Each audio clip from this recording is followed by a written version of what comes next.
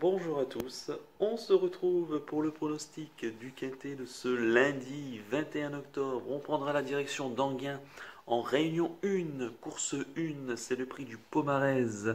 C'est une course euh, D pour euh, des chevaux de 6, 7 et 8 ans n'ayant pas gagné 230 000 euros. Il y aura un recul de 25 mètres pour des chevaux qui ont gagné plus de 126 000 euros. Ils seront 16 au départ de cette course sur 2875 mètres, une distance classique sur l'hippodrome d'Anguin. Et je vous donne tout de suite mes 8 préférés. Une course très intéressante hein, euh, avec des chevaux qu'on connaît très bien à ce niveau. J'ai mis en tête le numéro 10, euh, Bellagio Monoï. C'est euh, le pensionnaire hein, de euh, Valérie Châtelain, la drive de Franck Ouvry, qui est en pleine forme, hein, Bellagio en, en, ce moment. Il reste sur deux victoires consécutives, deux fois au, au Croisé-la Roche, dont la dernière fois donc, dans un quintet, le prix de Roubaix. Il était ferré ce jour-là, c'était une course sur Autostart et il avait très bien gagné, hein, malgré son numéro en, seconde ligne, où il devançait des chevaux comme Best, euh, des Défi Best Match, ou encore euh, Panoramique ou Dascalia, hein, qui ont d'ailleurs répété hein, euh, depuis. Bellagio Monoï, qui, s'il ne vote pas, quasiment toujours dans, les trois premiers. Il est déféré des, quatre pour cette occasion. il a été une seule fois déféré des quatre pieds, c'était sur l'hippodrome d'Amiens, où il avait gagner, tout simplement. Donc euh, ça sent quand même une course euh, visée, euh, en tout cas. Moi j'y crois beaucoup avec ce Bellagio Monoï, j'en ferai vraiment une base. S'il ne faute pas, à mon avis, il sera premier ou deuxième. Ensuite, en deuxième position, j'ai mis le 9, Clovis Montaval. C'est le pensionnaire de Fabrice Lercier, la drive de Tony Le Bel Un Clovis Montaval qui lui aussi est en pleine forme en ce moment. Il est vraiment toujours dans les quatre premiers. C'est un amour de cheval qui euh, euh, reste lui aussi hein, sur deux victoires consécutives. Une euh, début septembre au Mont-Saint-Michel où il devançait des chevaux de catégorie moyenne. Hein. On pense à Belphégor du Page ou encore à Baron de, de l'Ormerie. Mais il s'imposait quand même courageusement. Et la dernière fois à, Laval, dans une course européenne, euh, il devançait des chevaux comme Onid Gassar, Clara Mazza, ou encore Sexat Again ou Furious Francis. Des chevaux plutôt utiles et intéressants. Euh, un cheval qui doit rendre 25 mètres, mais qui a la pointure, je pense, d'un lot de ce genre. Euh, lui aussi, s'il ne fait pas de bêtises, ce qui peut lui arriver souvent, enfin en tout cas de temps à autre, euh, surtout dans, sa jeunesse où il était assez délicat. Euh, mais s'il ne vote pas, lui aussi, je pense que sa place est vraiment dans les trois premiers. En troisième position, j'ai mis le 14, Khalid Jodelby. C'est pensionnaire de Jean-Marie Roubaud, la drive euh, d'Éric Raffin, qui reste sur une contre-performance hein, sur le programme de Salon de Provence. Mais ce jour-là, il était ferré. Là, on le défère des quatre pieds. Et euh, sa dernière sortie des des Câbles, bah, c'était lors de son avant-dernière sortie à Saint-Galmier, où il s'imposait euh, euh, facilement. Hein, donc l'avant-dernière fois à Saint-Galmier, c'était dans une course autostart. Il était très bien engagé. il devançait des chevaux comme Stuart Belland qui retrouve ce, ce, lundi. Maintenant, il a une stat très très mauvaise à Anguin. Il n'a jamais fait l'arrivée à Anguin en 5 tentatives, dont 3 sur ce parcours. Donc il faut vraiment que, voilà, bon, les stats se sont toujours faits pour être brisés, mais c'est vrai qu'il n'a pas vraiment une stat euh, envieuse pour lui, mais voilà, euh, c'est vrai que déféré des 4 ces derniers temps, il est en pleine réussite. Donc je pense qu'il faut quand même le retenir très haut dans un prono. En quatrième position, j'ai mis le 16, Défi Piergy, le pensionnaire hein, de Laurent-Claude Abrivard, la drive euh, de Léo hein, Abrivard, qui reste sur euh, une deuxième place hein, sur les programmes de, de dans piste en herbe. Où il courait plutôt bien. Auparavant, deuxième au croisé la roche de Bellagio Monoï dans, un quintet où ça s'était plutôt bien passé ce jour-là, battu vraiment tout à la fin. On le défère des, des de nouveau. Lui aussi un amour de cheval qui est quasiment tout le temps dans, l'argent. Il devra encore une nouvelle fois se, bien se défendre, d'autant qu'il est euh, à seulement à moins de 300 euros donc du euh, plafond des gains.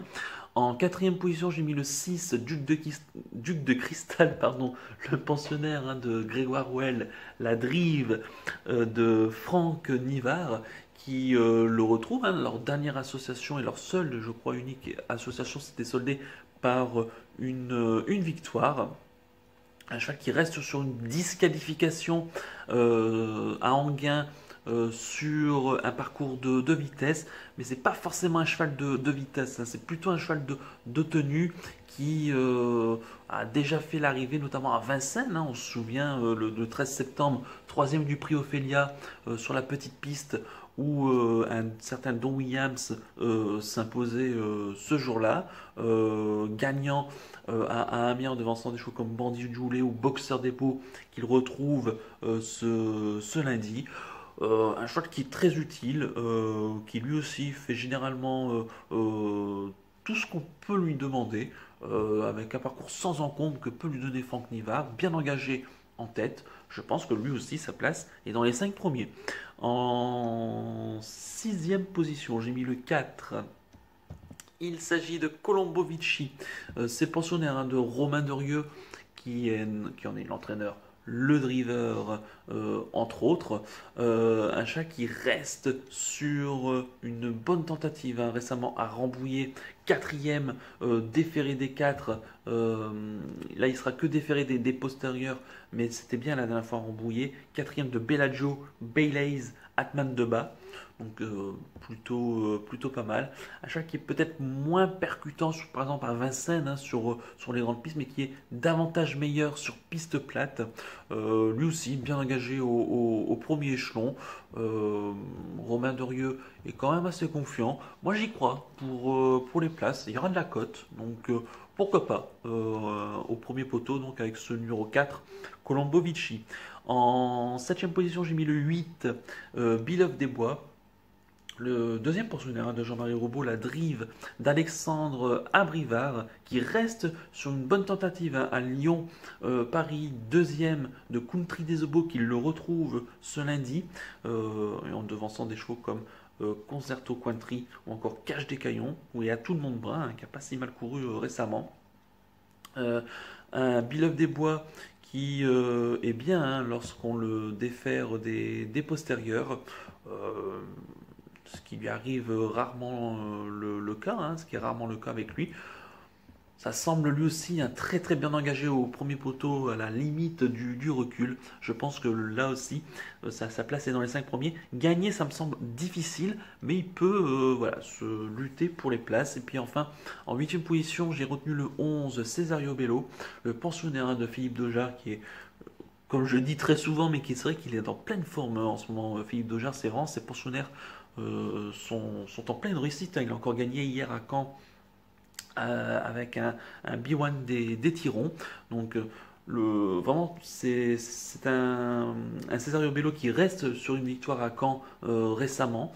un choix qui peut-être, et c'est pour cette raison que je l'ai mis assez bas dans mon prono, qui est peut-être plus à l'aise corde à droite, maintenant corde à gauche. voilà, il fait aussi des, des quelques performances. Voilà, c'est un cheval qui est dans sa catégorie. Voilà, même si je l'aurais préféré corde à, à droite, mais il peut venir lutter pour les places, d'autant que je répète, vraiment, l'entraînement est en pleine, pleine réussite en ce moment, donc il faut en profiter, d'autant que le cheval lui aussi est en pleine forme en ce moment, donc il peut venir accrocher une petite place à ce niveau. Et puis enfin, en regret, j'ai mis le 2 il s'agit de Boxer Debo qui fait une petite rentrée, hein. euh, ce qui me gêne un, petit peu. Maintenant, il a, voilà, il a des lignes avec euh, euh, des, des, chevaux comme avec des, chevaux, voilà. il reste sur une cinquième place, voilà, sur l'hippodrome de, Vincennes dans prix avec des choix comme Duc de Cristal. Hein, voilà, c'est ce pensionnaire que je cherchais.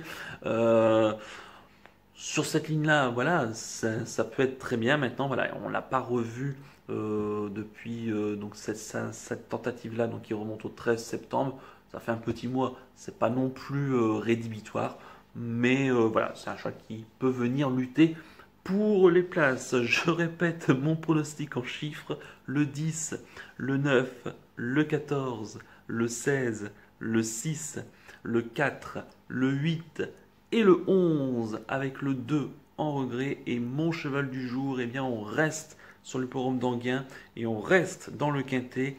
Et vraiment, je suis extrêmement confiant avec le 110 euh, Bellagio Monoï. Euh, vous l'avez compris. Euh, un cheval qui est voilà, déféré des 4 pour la deuxième fois de sa carrière seulement. Ça semble être. voilà, c'est un cheval qui est, comme je l'ai dit tout à l'heure, il est extrêmement. enfin, il est très. Enfin, lorsqu'il ne faute pas, voilà, il est tout le temps dans, dans les deux premiers voilà, maintenant il faut vraiment qu'il trotte, mais il a vraiment la pointure d'un lot de ce genre, et d'autant que les pistes plates sont vraiment faites pour, euh, pour lui. Donc le 110 Bellagio Monoï euh, en réunion 1, course 1, et on mettra 5 euros gagnants et 15 euros placés. Voilà, et puis rapidement, on revient sur l'arrivée du quintet euh, de ce samedi hein, sur l'hippodrome d'Auteuil euh, avec euh, un tiercé désordre hein, que je vous indiquais en, en, 8 chevaux. Maintenant, c'était pas parmi mes premiers favoris, donc dans, ce prix Prince des Coins avec une belle cote à l'arrivée, hein, donc avec My Badge qui termine troisième. C'est Zarisk qui, qui s'impose.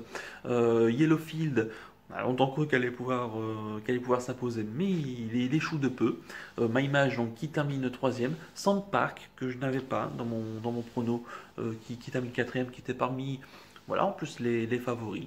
Mais bon, j'avais pris des risques dans, cette course. Et puis Credo des Obos, donc je ne croyais pas forcément, donc qui termine cinquième. Donc pas vraiment de regrets dans, dans, mes choix. Mais c'est vrai que, en tout cas, je suis très content pour My Image qui, est, qui termine troisième à plus de 50 ou 60 contre 1, je crois. Et qui fait vraiment une très belle valeur à ce euh, niveau. Euh, et puis mon euh, cheval du jour, malheureusement à quand Costa au fort ne termine, je crois, 7 ou 8e. elle, a, elle, a, eu un bon parcours, bien parti, et malheureusement, à l'entrée de ligne droite, on va dire plus de son, euh, plus d'image hein, à 200 mètres de l'arrivée. Euh, elle cherchait un petit peu l'ouverture. Alors, on va dire oui, mais elle n'a pas été très heureuse, mais je pense qu'elle n'avait pas vraiment les, des ressources nécessaires. Donc, je pense que, voilà, pas vraiment d'excuses. Ce sera peut-être mieux euh, la prochaine fois pense qu'elle a encore besoin de, quelques d'un ou deux parcours avant de pouvoir lui, lui refaire confiance. Et notamment, je pense à Vincennes où elle sera beaucoup plus euh, percutante. Et d'ailleurs, c'est dans cette course que Biwan Détiron, euh, le pensionnaire de Philippe Dojar, qui euh, s'imposait devant Diego Sauton et Cyril Datom, qui termine troisième. Voilà donc pour mon cheval du jour. Et eh bien, il ne me reste plus qu'à vous remercier, qu'à vous souhaiter évidemment bonne chance pour les paris. Merci à tous pour votre fidélité. N'oubliez pas de liker et de vous abonner à la chaîne si ce n'est pas déjà fait. Je vous en remercie par avance et je vous donne rendez-vous eh bien, euh, dès demain pour l'étude du quintet de mardi. Bonne soirée, bon week-end et à demain. Ciao ciao